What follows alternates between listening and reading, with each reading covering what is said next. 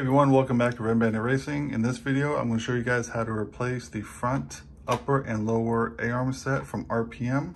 We got the Mini E Revo here, and the front arm did break. I don't know how it broke. We were at the BMX track in Sacramento, and we didn't realize it broke. This was actually hanging on just by a little bit there, and we had noticed that the tire was bent out. We moved the tire and it fell apart. So we're going to replace that we did do a video where we replaced the rear with the RPMs and they are much beefier and we haven't had one single problem with them. So I'm gonna show you guys how to do that. In an upcoming video, we're gonna have Red Leader show you how to replace one of the arms on the eRevo 2.0 along with one of the pivot balls. And as you can see here, we're gonna be swapping out some fluids on the sledge and the Rustler and that'll also be in an upcoming video. So let's go ahead and jump right into this. The tools you're gonna need, you're gonna need the 2.0 millimeter hex. You're gonna need a tool to go ahead and take off those wheel nuts because as you guys know on the Mini, uh, you have to have a pretty thin size socket to get those off. So we're gonna use this. I still haven't found the tool yet, but I am gonna be putting some, uh, the trenchers from the Bandit. I'm actually gonna be putting these on the Mini e-Revo. I think that's gonna give it a little bit more height and a little bit more traction. So we're gonna try that out. Also got some picks just in case we need it. So let's go jump in on this. This really shouldn't take that long. There's not too much you have to take off. All right, well, I hope you guys can see this. Uh, I normally do this outside on the table, but it's extremely windy today. It's been a little warm. So I'm gonna go and do this here inside. So sorry for the camera angle. I'll make sure that I get much of this in focus as I can. First thing, let's go whip these tires right off. Right, get those tires off, put our parts aside. like to use these as a little stand right here. All right, so first thing we're gonna do is we have to take these push rods off. And once we get the push rods off, uh, we'll go ahead and get the front bumper off. And we're gonna wanna take these one, two, three, four, five screws out. Remember these are the 2.0. To make some, that way you know where stuff goes and you don't lose, lose anything. So once we get that off, we're gonna go and pull that off just like that. Make sure everything's nice and clean, inspect it. Everything looks good, so we're gonna put that aside. To take off that bumper, I think it's those two screws right down in here. If you can see those, right in here.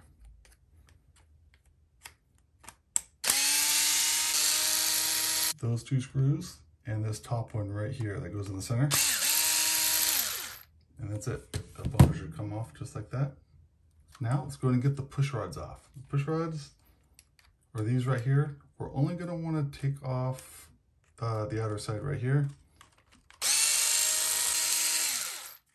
Pull those out. That way these are freed up. Just pop them out. Just like that. We're actually going to leave these because we don't need to take them all the way off. If they, if you feel like they're in your way, take these, take this other 2.0 hex off and get these off the way. That way they're out of your way, but they really shouldn't be. Let's go ahead and get this thing cleaned up. Next thing we're going to do is we're going to take off uh, the bulkhead crossbar. And what this crossbar does is this helps hold this whole assembly together. It keeps these pins right here set so they don't come loose. So what we're gonna do is we're gonna take the center one off. I'll show you what it is. Take that one off just like that. Put that aside. And this bar is gonna come off just like that. Put that aside. And as you can see, you're gonna pull all four of these pins out. When you pull those pins out, it's gonna free these arms up so you can pull them out. But before we do that, let's go ahead and unscrew them from the hub. We go in there inside and you're gonna unscrew them. Uh, I go, I go evenly, go evenly out.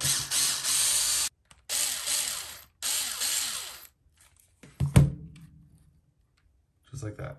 You wanna go evenly out because uh, you will find that they start getting jammed in there if you're taking one all the way out and you're trying to get the other one. So you kind of have to uh, move their suspension up and down a little bit to make sure that they're straight as you take them out. What you can actually do is once you get to that point, let me move my parts side a little bit so I have a little room. we go. The easiest thing to do is keep your parts on the side that they came off, pull the axle out, just put it aside, put that one aside.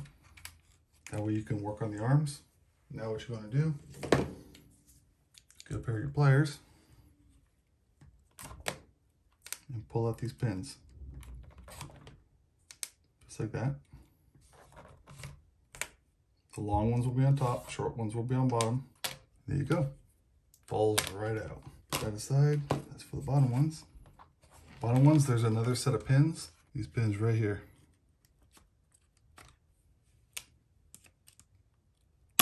Oops, you have to kind of tug them just a little bit.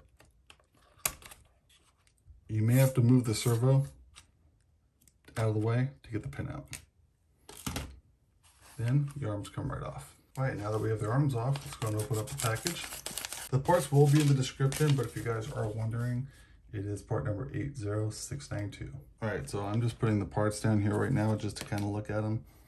And I don't know if you guys can see that, but I mean, it is a pretty big difference. If you're looking at these arms, this is the left side. Uh, that's a pretty big difference. I mean, they are definitely beefier. Look at the thickness on them. So these are definitely beefy. I don't think these are gonna break. I think this is gonna last quite a long time and we won't have to do this again. All right, so I think the easiest thing to do is to start with the bottom. So I'm gonna flip this over. I'm gonna put this side on first. And the bottom ones are the ones where the lower uh, shock, uh, push rod goes on, right there. Uh, this faces the front because that's what the push rod mounts on. So it's gonna go on just like that. So what we're gonna do is we're gonna grab our pin. Easiest thing to do is to put a pair of pliers.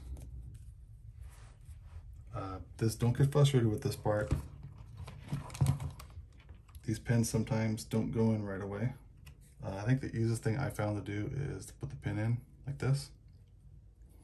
Uh, I think I just remembered how to do it because I, I, I did help Red Leader out with the rear, but we're gonna put that in like that. And then let's grab my pick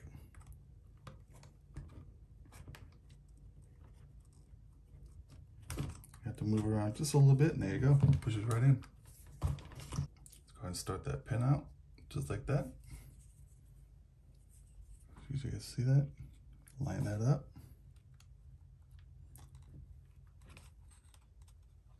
Or screwdriver, doesn't matter. All you're really using it for is to push the pin in. So once you got those in, you're gonna go whip it around, go to the front, do the same thing. And you're done, flip it back around. Now you got the bottom on. We're gonna go ahead and do the top. So just keep these arms out of the way. So when you put these back in, just in case you forgot how they came out, I'll show you guys. So if you guys can see the slot right in there, it's about the thickness of this side. So you, you can't really put these in wrong. So it's gonna go in like this. You can't put the big side in on the other end. So you're not gonna get it wrong. I put it in just like that. Once you got that in, grab your pin.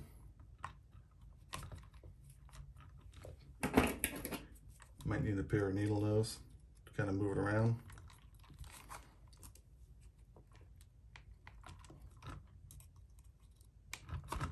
And there you go, pushes right in. I'm gonna grab the other side real quick. Same thing, get that push right out. Small end goes in the back. Grab your pin. Grab your pliers. Grab just the tip.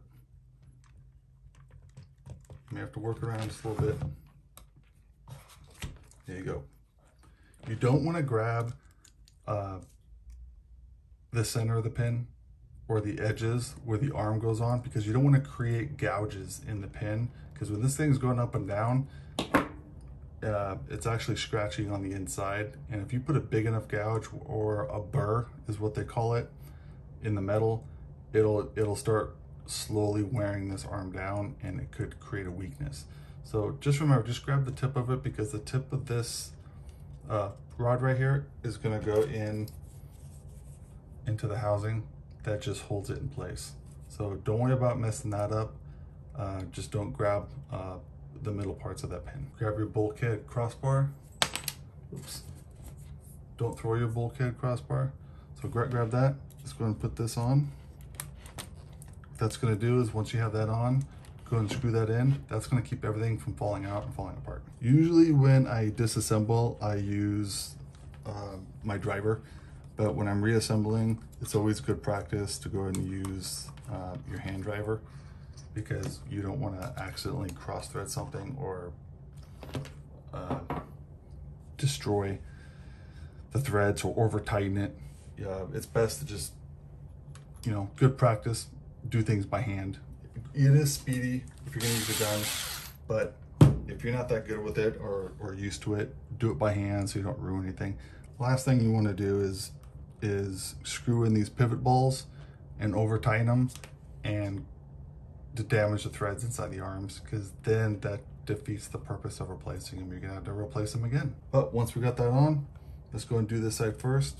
You're gonna pull this arm aside right here, put it back in the axle. This one's a little bit dirty. There we go, got that in there. Once that's in, we're gonna go ahead and start screwing the pivot balls back into the arms. And just know when you're doing this, do it by hand, get it started, and then do the other side. Do it evenly. All right, I got started. So now that it's started, I'm gonna keep the suspension straight like that. What I'm gonna do is I'm gonna go in a couple turns. As you guys can see, at the wrong angle, you can't get the thread. So it, you have to angle it a little bit to tighten them down. I don't know if you can see that, but as you're doing it, let me try and get at the camera. As you're doing it, you can see them in there. As you move the suspension up and down, those pivot balls are making it hard to grab that hex. So that's what I'm saying by carefully move it around and do them evenly. You don't want to go all the way in.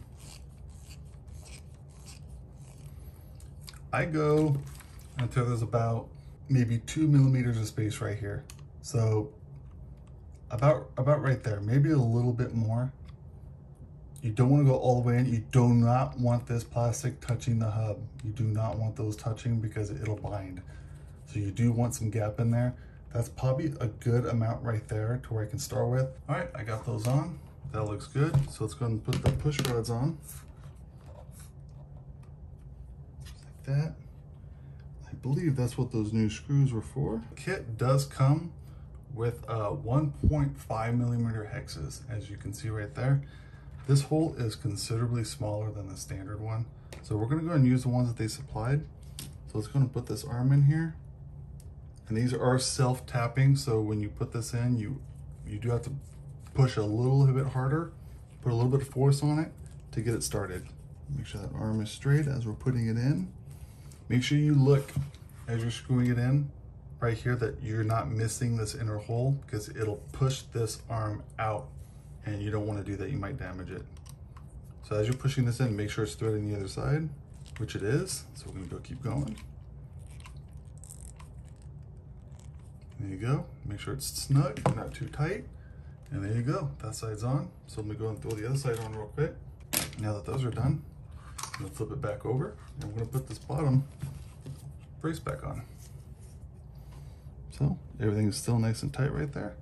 So what we're gonna do is on this one, as you can see, there's two slots here and two slots here. Those are where your pins are gonna go. So you're gonna wanna make sure those are pressed down over the pins just like on the rear. So, get this in frame right there.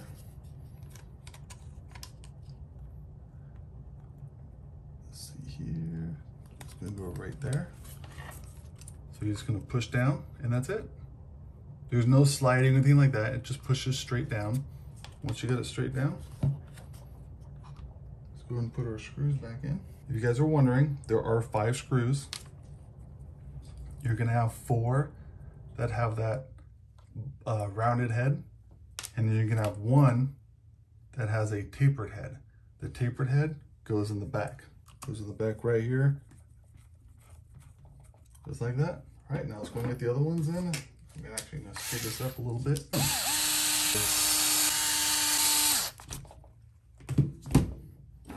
Are in,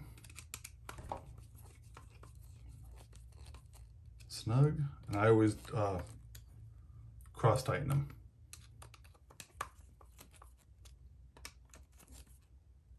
It's nice and snug, nice and snug. Here we go.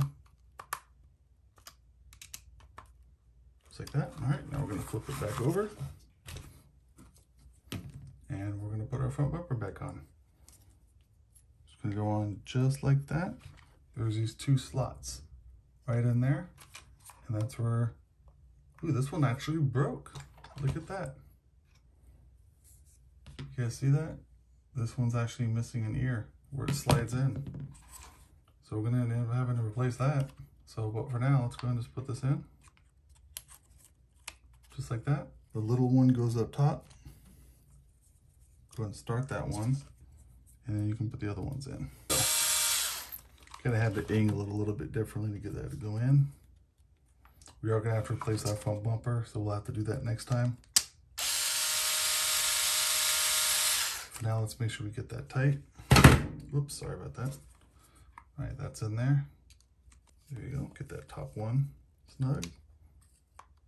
And get the other two. So it is actually pretty important that we replace this front bumper because if it's missing that hook, it's not really grabbing and staying on. So before we really take this out again, we're gonna have to replace that bumper. But that is it. Pretty nice. So let's go and throw the wheels on and check the toe. So we're gonna make sure the wheels are straight.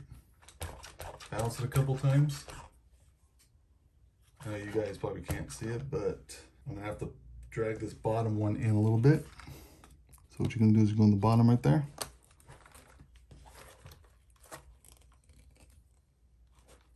A couple turns.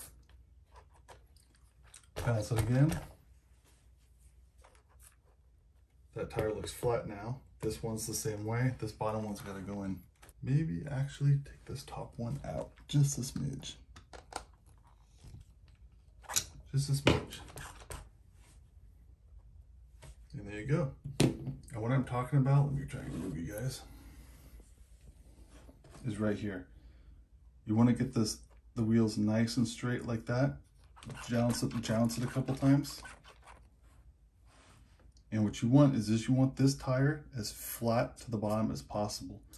So if it's tilted in a little bit, what you want to do is take this top pivot ball and unscrew it a little bit.